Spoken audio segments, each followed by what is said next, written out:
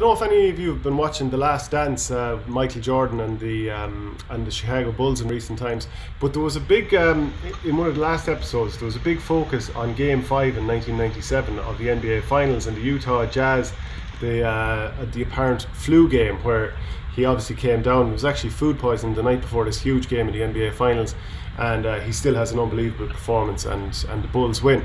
So we've got our own flu game, which is Brian Whelahan in 1998 he comes down with a flu before the All Ireland final against Kilkenny and ends up giving a man of the match performance. Scored 1 6, I think, Michael Verney. But it's a huge sliding doors moment, and we already did a sliding doors moment on Ryan Dwyer last week and in 2013, the red card against Cork. But this was also a huge sliding doors moment because Brian Whelahan went from starting wing back to quickly being moved up full forward, and the ramifications were huge. Yeah, it was massive. Now Brian Whelahan didn't have a pizza the night before the match like Michael Jordan did. I could, I actually couldn't believe that. It's just, it's funny. Uh, maybe it's just back then, or maybe he just thought he, he could eat or do anything he wanted and smoke the cigars or do whatever he wanted. But Brian Whelahan one is really, really interesting. So the night before the All Ireland final in '98, it obviously been a big saga to get there, three game saga with Clare.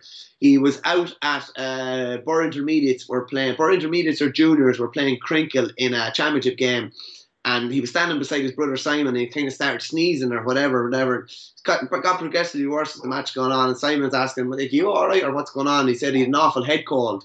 And um, eventually like that that those things get worse as they do. So he woke up the next morning absolutely stuck to the bed, heavy legged, everything.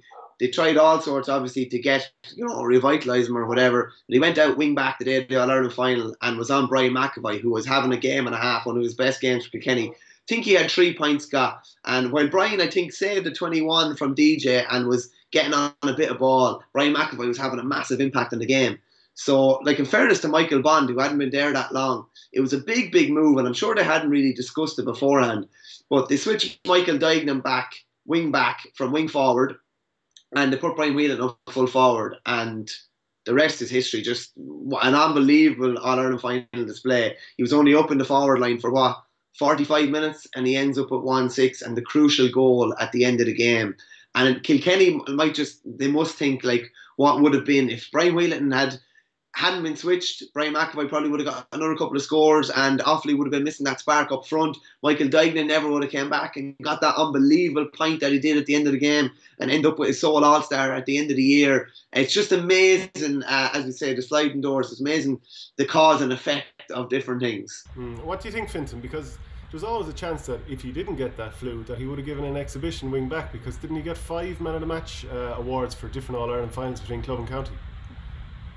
Yeah, like his legend as a player is obviously for his performances in defence largely. I mean, you know, you go back to the '94 controversy over the All Stars and all that, and getting hurt of the year, and uh, like he was the only current player at the time to get on the team in the Millennium, and that was in a wing back position. But the kind of the story about him and the kind of his greatness is kind of bolstered all the more by what he can do as a forward and kind of proving his versatility by what he does in that final.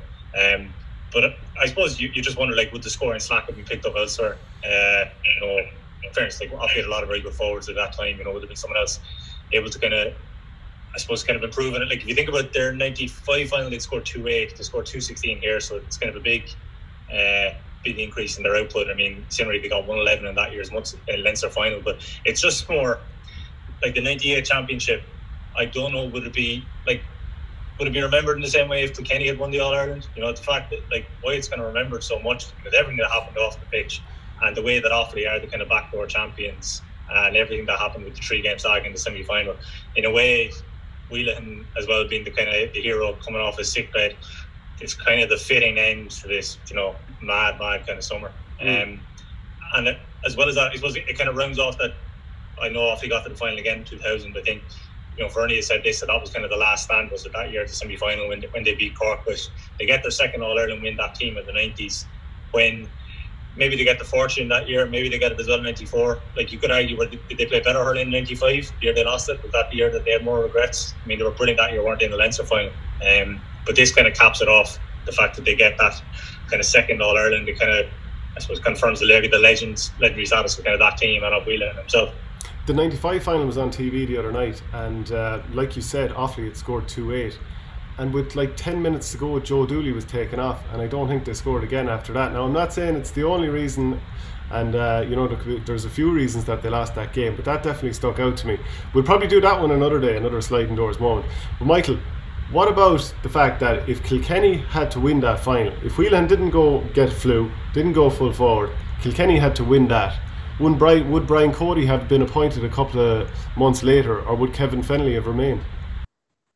there you go. You could say Brian Whelahan and the Offaly boys were the cause of one of the greatest managerial reigns and the 11 All Irelands that followed. No, it's a fair fair point. Like uh, Kevin Fennelly obviously was, was. I remember watching interviews after he was fairly down in the down the dumps after, and a couple of months later, Brian Cody comes in. Nobody could have predicted what was going to happen in you know the the go to what 22 years that followed and the 11 All Irelands. But that's a not yet another sliding door. Like the sliding doors in '98 are just outrageous.